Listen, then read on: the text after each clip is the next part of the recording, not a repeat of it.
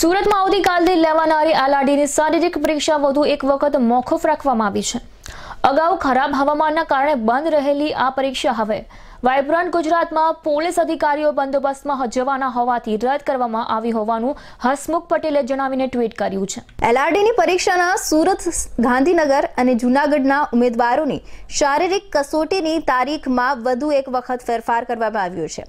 સુરત ખાતે એલઆરડીની શારીરિક પરીક્ષા આવતીકાલ તારીખ પાંચ જાન્યુઆરીથી આઠ જાન્યુઆરી અને નવ, દસ તેમજ અગિયાર જાન્યુઆરીના રોજ સુરતના કામરેજ નજીક આવેલા વાવ ખાતેના પોલીસ પરેડ ગ્રાઉન્ડ પર લેવાવાની હતી. પરંતુ ગ્રાઉન્ડ ઇન્ચાર્જ સહિતના અધિકારીઓ અને કર્મચારીઓ ગાંધીનગર ખાતે દસમી જાન્યુઆરીથી યોજાનારા વાઇબ્રન્ટ સમિટમાં બંદોબસ્તમાં જવાના હોવાને કારણે આ પરીક્ષા મોકૂફ રાખવામાં આવી છે.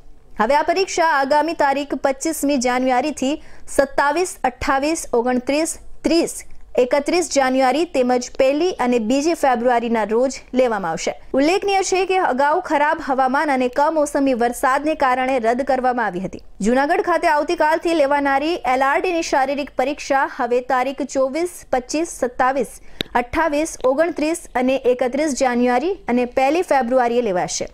જ્યારે ગાંધીનગર ખાતે યોજાનારી એલઆરડીની પરીક્ષા દસ, અગિયાર અને બાર જાન્યુઆરીને બદલે આગામી તારીખ એક અને બે ફેબ્રુઆરીના રોજ યોજાશે. તમામ ઉમેદવારોએ પોતાના મૂળ કોલ લેટર સાથે જ મેદાન પર પહોંચવાનું રહેશે. આ તમામ માહિતી વેબસાઇટ પર પણ અપલોડ કરવામાં આવી છે.